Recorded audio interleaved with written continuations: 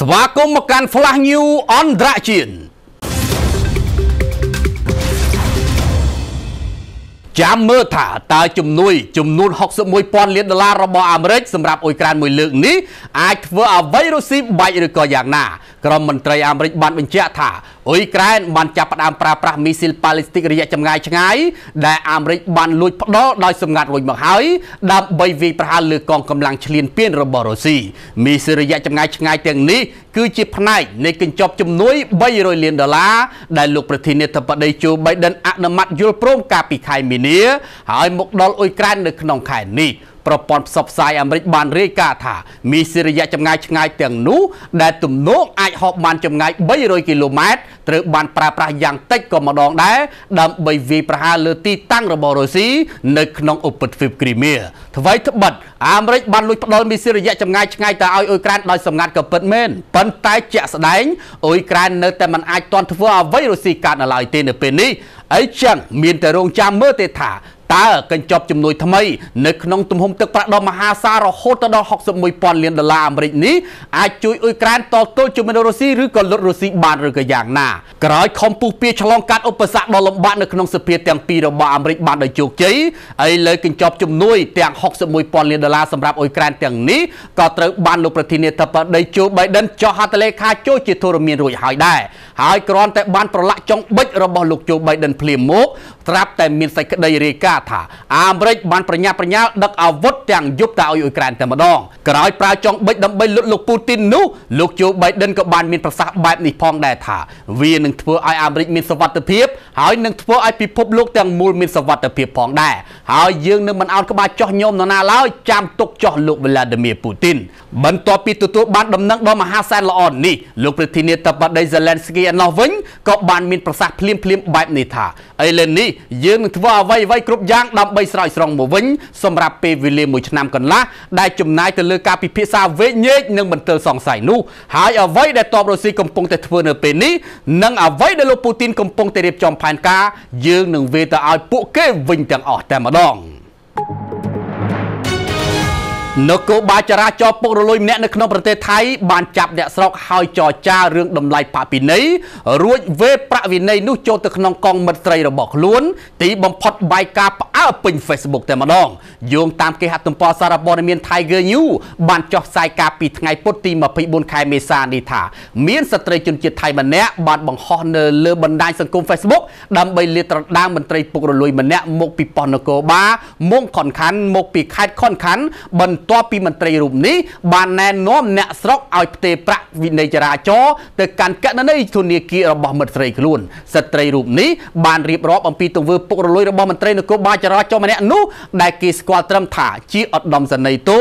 ដោយនាងបានពន្យល់ថាមន្ត្រីរូបនេះបានពិន័យនាងចំនួន2000បាតពីបទបំពានច្បាប់ចរាចរណ៍មន្ត្រីរូបនោះបានចេញវិកាយប័ត្រផាកពិន័យហើយបានឲ្យនាងបងទៅប៉ុស្តិ៍នគរបាលក្រោយមកមន្ត្រីរូបនោះបានព្រមបញ្ចុះតម្លៃថ្លៃមុខត្រឹមតែ1000បាតហើយបានប្រាប់នាងឲ្យវេប្រាក់នោះទៅកងធនាគារមិត្តស្រីដែលមានឈ្មោះថា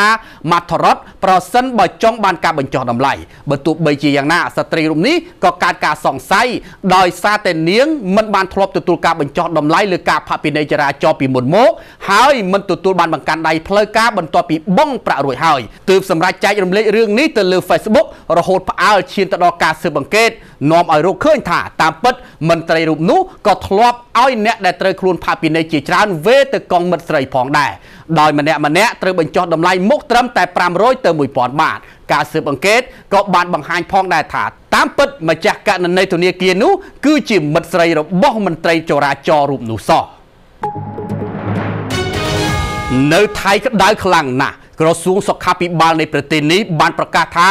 បើគិតរហូតមកដល់ឡើងពេលនេះរលកកម្ដៅបានឆក់យកជីវិតមនុស្សអស់30នាក់រួចមកហើយគណៈអាកាសធាតុនៅតែបន្តឡើងកម្ដៅកាន់តែខ្លាំងនោះខណៈអាកាសធាតុកាន់តែក្តៅបែបនេះរដ្ឋាភិបាលថៃបានជួលដំណឹងដល់ពលរដ្ឋកុំឲ្យនៅក្រោមពន្លឺព្រះអាទិត្យយូរពេកផងដែរព្រោះវាអាចនាំទៅរោគហានិភ័យនៃការខ្សោះជាតិទឹកនៅក្នុងខ្លួន រហូតដល់ការប្រកាច់បាន ដែលគេហៅថា head stroke នោះ head stroke គឺជាគ្រោះថ្នាក់ដ៏ខ្លាំងព្រោះវាអាចធ្វើឲ្យខូចប្រព័ន្ធរាងកាយខាងក្នុងធ្ងន់ធ្ងរហើយអាចឈានទៅដល់ការបាត់បង់ជីវិតទៀតផងបើព្យាបាលមិនទាន់ពេលវេលាទន្ទឹមគ្នានោះអាជ្ញាធរថៃក៏បានប្រកាសផងដែរថាចាប់ពីថ្ងៃសុក្រដល់ថ្ងៃអង្គារសប្តាហ៍ក្រោយខ្យល់ក្តៅបក់បោកពីភាគខាងលិចនិងខាងលិចឈៀងខាងជើងនិងបកដល់ភាគខាងជើងភាគឦសាន និងតំបន់ទំនាបកណ្ដាលនិងភាគខាងកើតដែលជាហេតុធ្វើឲ្យសេតនាភាពនៅក្នុងតំបន់នេះអាចឡើងលើកកំណត់ត្រានៅក្នុងឆ្នាំ2016និងឆ្នាំ2023ទៅទៀតសូមបញ្ជាក់ថា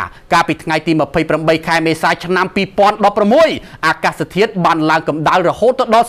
44.6អង្សាសេឯណោះនៅក្នុងខេត្តម៉ាហុងសិនហើយនៅក្នុងថ្ងៃទី15ខែមេសាឆ្នាំ2023នៅខេត្តឆាកកម្ដៅក៏បានឡើងដល់ចំណុចនេះម្ដងទៀតផងដែរ